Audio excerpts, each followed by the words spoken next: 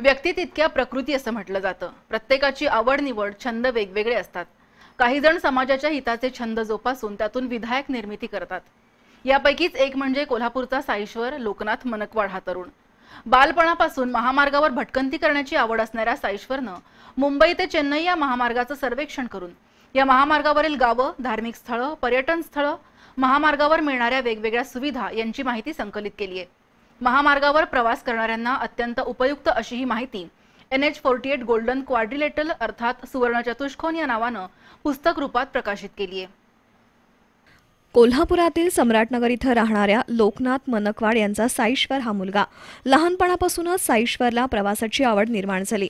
विशेषतः महामार्गावर भटकंती करणं या मार्गावरील गाड्या ट्रक यांचं निरीक्षण करणं त्यांची माहिती संकलित करणं याची आवड साईश्वरनं जोपासली आणि त्यातून साईश्वरकडे अत्यंत महत्त्वाचा आणि प्रवाशांना उपयुक्त असा डाटा संकलित झाला. सध्या इंजिनिअरिंगच्या द्वितीय वर्षात शिकणाऱ्या साईश्वरनं कुटुंबियांच्या सांगण्यावरून ही माहिती पुस्तक रूपात प्रकाशित केली. महत्त्वाचं म्हणजे पुणे बेंगलोर महामार्ग हा राष्ट्रीय महामार्ग क्रमांक चार म्हणून ओळखला जातो. मात्र दोन हजार दहा साली केंद्र सरकारनं देशातल्या सर्व राष्ट्रीय महामार्गांचे क्रमांक बदललेत याची माहिती बऱ्याच जणांना नाही. हा महामार्ग आता मुंबई ते चेन्नई असा विस्तारला असून तो एन एच अठ्ठेचाळीस क्रमांकाचा महामार्ग बनलाय.